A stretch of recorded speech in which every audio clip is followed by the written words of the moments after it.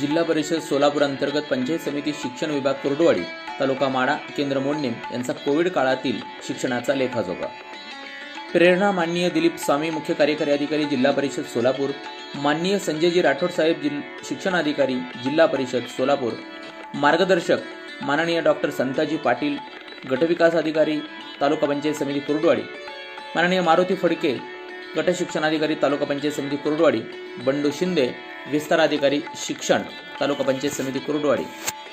संकल्पना रामकृष्ण केदार केंद्र प्रमुख केंद्र मोडणीम श्रेय नामावली सर्व मुख्याध्यापक व शिक्षक वृंद केंद्र मोडणीम. चालू शैक्षणिक वर्षात कोविड काळातही शिक्षकांनी घरोघरी विटभट्ट्या वाडी वस्तीवर जाऊन शैक्षणिक सर्वेक्षणानुसार पटनोंदणी करण्याचं काम केलं. परंतु कोविड महामारीच्या काळामध्ये शाळा बंद असल्या तरी शिक्षण सुरू करावं परंतु ते करण्यासाठी येणाऱ्या अडचणीवर काय उपाययोजना करावी यावर विचार विनिमय करण्यासाठी केंद्रातील जीप व खाजगी शाळांमध्ये स्वतंत्र नियोजन बैठकांचे आयोजन करण्यात आले होते. मुख्याध्यापक सभामधून पुढे आला तो महसूल गाव सभांचा उपक्रम.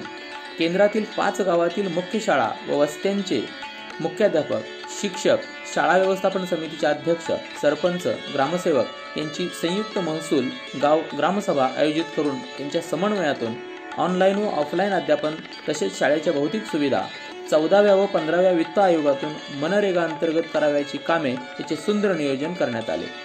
बैरागवाडी जाधववाडी मोडणीम सोलंकरवाडी आणि बावी केंद्रातील पाचही गावांमध्ये या सभा संपन्न झाल्या. या सभांमुळेच शंभर टक्के पटनोंदणी भरघोस शैक्षणिक उठाव पालक शिक्षक समन्वय भौतिक सुविधांची पूर्तता शंभर टक्के ऑनलाईन व ऑफलाईन शिक्षण झाडाखालची कट्ट्यावरची शाळा कोविड प्रतिबंधक लसीकरण व संपर्क तपासणी. एक विद्यार्थी एक वृक्ष. त्याचबरोबर माननीय सीईओ साहेब यांचा एक पद एक वृक्ष स्वच्छ शाळा सुंदर शाळा उपक्रम केंद्राने स्वतंत्रपणे राबवण्यात आला. केंद्राचा उपक्रम मिशन स्कॉलरशिप दोन हजार बावीस आणि अभ्यासाचं गाव सोलंकरवाडी हे उपक्रम यशस्वी झाले. महसूल ग्रामसभांमधून अध्यापनामध्ये विद्यार्थ्यांचा सहभाग वाढावा विद्यार्थ्यांचे ऑनलाईन तास घ्या. असे फक्त न सांगता ते कसे घ्यावेत? विविध तंत्रज्ञानाचा वापर कसा करावा? यासाठी केंद्रातील तंत्रज्ञ शिक्षकाच्या मदतीने ही ऑनलाईन कार्यशाळा आयोजित करण्यात आली होती. सोलापूरच्या राज्य तंत्रस्नेही शिक्षक राजकिरण चव्हाण यांनी या ऑनलाईन शिक्षण नव्या दिशा नव्या वाटा या विषयावर कार्यशाळेमध्ये मार्गदर्शन केलं. याचा सर्व शिक्षकांना खूप फायदा झाला. याचबरोबर एक जुलैपासून शासनाच्या वतीने सेतू अभ्यासक्रमाची अंमलबजावणी करण्यास सुरुवात झाली. हा उपक्रम प्रभावी होण्यासाठी सेतू अभ्यासक्रम कार्यशाळेचे आयोजन करण्यात आले. या कार्यशाळेस पंचायत समिती कुरुडवाडीचे शिक्षण विस्तार अधिकारी साहेब यांनी भेट दिली आणि ऑफलाईन अध्यापनासाठी कट्ट्यावरची शाळा आणि झाडाखालची शाळा हे प्रभावी उपक्रम राबवल्याबद्दल सर्वांचे कौतुक केले. याच वेळी माझा विद्यार्थी माझी जबाबदारी या अंतर्गत मोडणीम केंद्रातील शंभर टक्के विद्यार्थ्यांची आरोग्य तपासणी करण्यात आली. यावेळी कुर्डवाडी प्राथमिक आरोग्य केंद्राचे डॉक्टर सातव यांनी तपासणी करत कोरोनाविषयक जनजागृतीही केली. माननीय सीईओ साहेब यांच्या एक पद एक वृक्ष या उपक्रमाची प्रभावी अंमलबजावणी केंद्रामध्ये करण्यात आली.